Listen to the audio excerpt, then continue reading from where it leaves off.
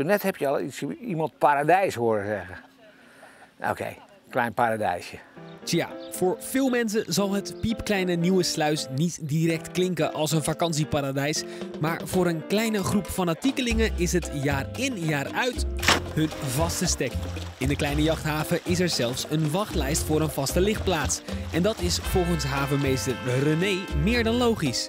Gewoon dit hele plaatje, dus je het hele grasachterland hebt, waar je dus uh, eigenlijk van alles kunt doen. Maar ook de situatie, het is een nieuwe sluis aan het eind van de dijk. Prachtig rustig. Daar om de hoek hebben we de, de pishoek. Kun je mooi ankeren met je schip. Je, de jeugd vaart met de rubberbootjes rond.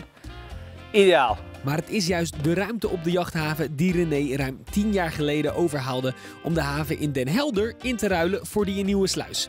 En nu staat hij hier iedere zomer. Bij elkaar een weekje of vijf, zes denk ik. Nou, dat is gewoon even een gokje zo. Maar dat is wel natuurlijk vrij veel voor één jachthaven. Ja. ja. Toch? Ja, dat vind ik wel. Vroeger bij de vorige jachthaven deed ik het nooit. En met René zijn er meerdere vaste gasten die wekenlang met hun boot in dit kleine haventje liggen. Terwijl er geen restaurant of supermarkt in de buurt is. Dus dan doe je over het algemeen... Niet veel. Nee, ja, we fietsen naar Annapolona voor een boodschapje. En uh, ja, voor de rest niks. Lekker boekje lezen. Vakantie vieren. Altijd dicht bij Nieuwe Sluis blijven? Altijd dicht bij Nieuwe Sluis blijven, ja. ja.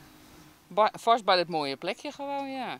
Nou, het is heel knus. Uh, iedereen zit wel op de kant. Het is uh, lekker weer, dat helpt natuurlijk altijd. Ja, het is gewoon gezellig hier. Ze noemen het dan ook wel de familiecamping. En dus hoeft René voorlopig niet weg.